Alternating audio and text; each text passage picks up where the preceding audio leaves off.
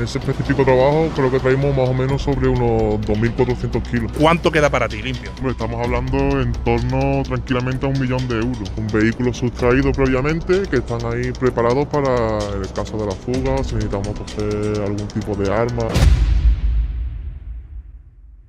Hola chicos, chicas, ¿qué tal? Otro día estamos aquí en mi canal. Hoy sin el perchero y sin la cara gorda, pero estamos en la calle. ¿Queréis calle? ¿Queríais MDLR? Pues voy a traer lo más calle que hay, lo más buscavida que hay, que es cómo entra el chocolate Oskis en España. En Málaga estamos ahora mismo, ¿vale? Y os vamos a explicar, una persona muy especial os va a explicar desde dentro todo el proceso de entrada de hachís a este, este país. Así que vamos, al final lo hemos conseguido. Nos acompaña la persona que os he dicho especial, una persona que nos va a explicar realmente lo que es su trabajo y, y a lo que se dedica, o una de tantas cosas que hace. Y está aquí, al lado nuestra, nos va a dar la oportunidad. John, ¿Qué tal? ¿Qué tal? ¿Qué tal, tío? Bueno, yo quería que me explicases un poco a lo que te dedicas realmente y que nos enseñes lo que fue un boom, porque salió en todas las redes la lancha que entró por este sitio. Entre otras cosas nos dedicamos al tráfico de drogas, traemos hachís entre otras sustancias desde Marruecos en lancha y las importamos aquí, sobre todo en Málaga, Mijas Costa, que es la costa realmente de, de la droga, donde más drogas hay ahora mismo en España. Yo lo que quiero, tío, si puede ser, que nos enseñes el proceso de la última goma que entró aquí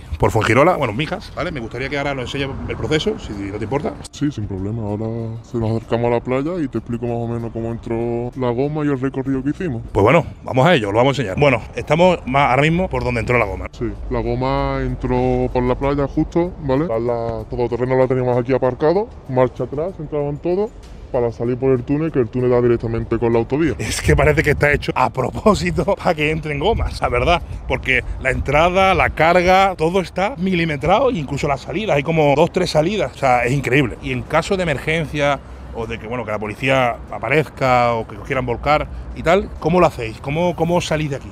Pues una vez están los todoterrenos aquí preparados, si llegamos a proceder a descarga, como veis aquí tenemos una rampa, ¿vale? Una en ese lado de aquí y detrás nuestra tenemos otra rampita a la cual son accesos directos a la autovía y que normalmente tenemos vehículos sustraídos previamente que están ahí preparados para el caso de la fuga, si necesitamos coger algún tipo de arma o cualquier cosa que se haya puesto el trabajo tonto, pues para solucionarlo o en el caso darnos la fuga si hiciera falta.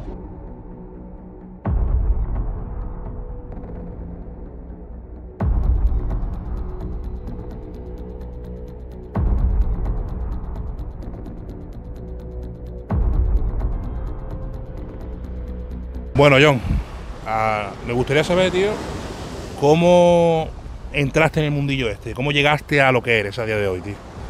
Pues empecé como la mayoría de la gente realmente, viendo a los grandes de mi zona, ¿no? Y trabajando para ellos, con contacto, conociendo a uno, conociendo a otro, bajando a Marruecos para subir ya empezar a subir mi propia mercancía poquito a poco y hasta que ahora pues ya me subo mis propias gomas para arriba y empezamos a distribuir por toda España y por toda Europa. Fue muy famosa la última goma que entró en esta playa, porque claro, la goma se quedó aquí, la dejaron aquí la Guardia Civil solo se llevó los motores, que no sé si está encallada por, por algún sitio, porque creo que una vez que la goma entra, como que no es del territorio de nadie o algo así, no sé cómo funciona, no estoy tampoco muy bien informado, pero sé que la goma está por aquí encallada o si no se la han llevado ya.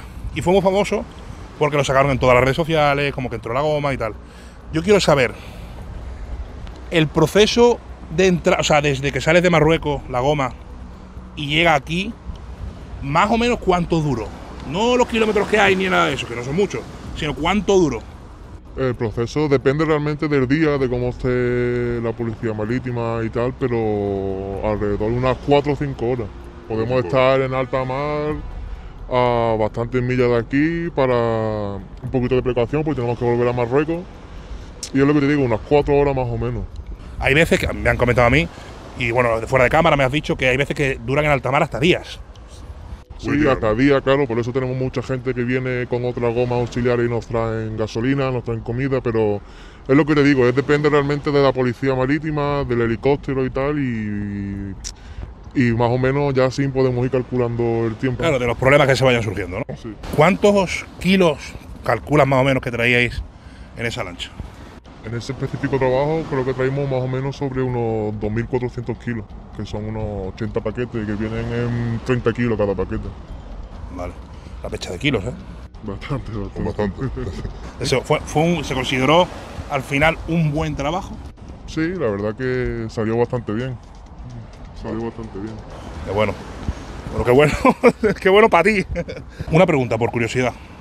¿Cuánto cobra tanto los que traen la lancha, cuánto cobran, y los que descargan la lancha? Pues los que conducen la lancha ya depende un poquito de la experiencia y de los viajes que haya hecho, pero mínimo, mínimo se puede llevar unos 20.000 euros por viaje. Son los lancheros. Eso los lancheros y la gente que descargan, es lo que te digo, pueden llevarse entre 3.000, 1.500, 3.000 euros tranquilamente. Y después tenemos los puntos vigilando la zona de entrada y salida de la autovía y esa zona, que esa gente pues se pueden llevar 300, 400 euros por una noche de trabajo. Que si lo piensas realmente por una noche de trabajo, lo dejo bastante Sí, bien. los que menos riesgo con- tienen, realmente. los Sí, sí. Vale, vale. Otra pregunta, tío. ¿Tuvisteis algún problema, ya sea con la policía o con la gente de la zona a la hora de, de descargar, de entrar la lancha aquí a la costa, no? No, pues la verdad que no, porque si te fijas en el sitio que te he enseñado, es un sitio bastante tranquilo, con muy poco tránsito de personas y aparte a las altas horas que nos solemos hacer el trabajo no suele haber ni patrulla y mucho menos personas por la calle. Claro, sí que la verdad que el sitio es. Verdad que no es día ni nada, pero es un sitio muy, pero que muy tranquilo. Y bueno, esto es realmente, esto ya es algo más personal mío. ¿Has tenido alguna vez miedo? Ya no digo ahora que eres como el, no quiero decir el jefe, pero casi casi, ¿no? Decirlo así, ¿no? O sí, ¿no? Sí, más o menos sí. Vale. Hombre, he tenido miedo, tampoco voy a llamarlo miedo, pero sí, más o menos muchas veces. Al principio subía yo mis propias gomas. Y sí es verdad que alguna que otra fuguilla de la policía, ¿sabes? Siempre se te pasa muchas cosas con la por la cabeza. ¿Qué te digo? Muchas veces abandonar la goma, como tuvo que pasar la última vez, aunque conseguimos hacer la descarga, pero abandonar la goma y salir corriendo, no tener dónde ir, tu vehículo ni nada de eso, pues da un poquito de susto. La verdad que sí, no te puedo engañar, pero después está recompensado. Más o menos, más o menos, ¿cuánto te queda limpio a ti después de, bueno, libre de gastos, de, de todo lo que tengas que hacer, de conquistar que repartir y todo eso? ¿Cuánto queda para ti limpio? Hombre, estamos hablando en torno tranquilamente a un millón de euros. Más o menos mil arriba, mil abajo, ¿sabes? Pero te estoy hablando después de hacer mi distribución, de dárselo a mi gente que a lo mejor lo saca en la calle, de transporte a lo mejor para distintos países de Europa y tal. Pues, que vale, la- lo que la- vale, porque en cada sitio vale un precio distinto, lo vendo a X precio, es lo que me refiero, pero estamos hablando en torno del millón, millón y medio tranquilamente. Vale. Es una, es una locura, ¿eh? pero bueno, es una puta locura. Y bueno, ya la última pregunta. eh, aparte de meter lanchas aquí, gomas aquí a, a la costa, ¿a qué otras cosas te dedicas, tío?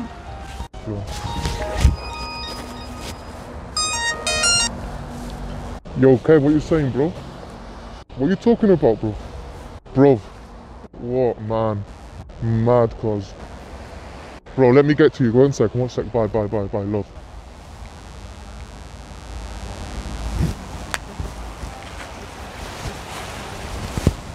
¿Todo bien? Me tengo que ir, Antonio, ¿vale? Sí, man.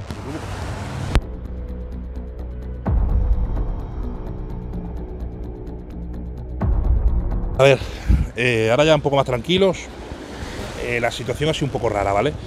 Eh, yo antes, mucho antes, cuando hemos llegado, el chico sí que me ha dicho claramente a lo que se dedica y, no solo a, esto de las lanchas. Y la verdad que estaba bastante nervioso, se ha ido muy enfadado, no sé qué, no sé qué es lo que habrá pasado, no, entiendo nada. Es más, yo no estoy acostumbrado a estas cosas y estoy ahora mismo un poco pues sorprendido y, la situación un poco que me supera. Pero bueno, a ver que espero que esté bien, espero que no le pase nada y, y nada, espero que también os haya gustado este vídeo.